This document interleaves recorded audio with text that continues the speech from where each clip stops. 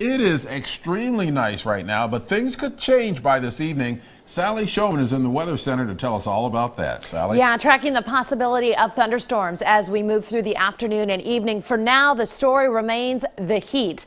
Take a look. We do have several locations in the 80s at noon, including Albany, Corvallis, and Redmond. Right now, Portland in the mid to upper 70s, depending upon where you are.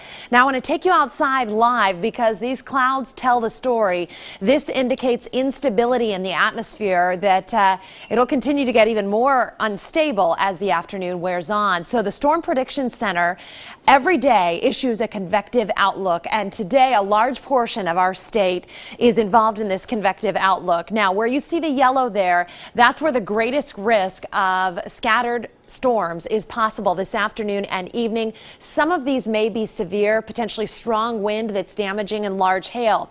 Also, in this darker green color that does include the Willamette Valley, isolated severe thunderstorms are possible later on this evening with wind gusts 40 to 60 miles per hour possible and also potentially some large hail. So here's a look at your forecast for the rest of the day. This afternoon, warm and humid, high temperatures around 80 degrees. And then as we head into the evening, the chance chance of thunderstorms. It's not like everybody will see these thunderstorms, but the possibility is there, especially over the Cascades. So something to be aware of. You guys, back to you.